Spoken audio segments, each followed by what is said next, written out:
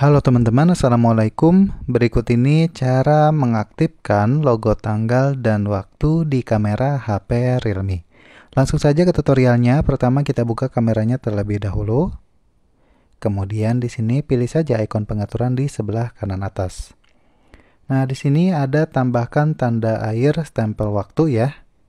Untuk mengaktifkannya kalian bisa tap saja seperti ini.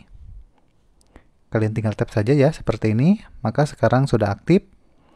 Nah, teman-teman, langsung saja kita praktekkan. Nah, di sini kalian tinggal foto saja dan kita lihat hasilnya. Oke, di bagian bawah sudah ada tanggal dan waktu ya.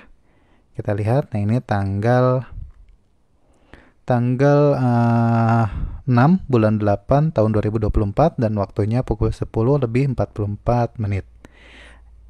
Oke, saya coba foto sekali lagi. Jadi sudah ada di bagian bawahnya ya, kita lihat. Nah ini sudah ada di bagian bawah fotonya, stempel, tanggal, dan waktu. Oke ya, itu dia tutorialnya. Mudah-mudahan videonya bermanfaat.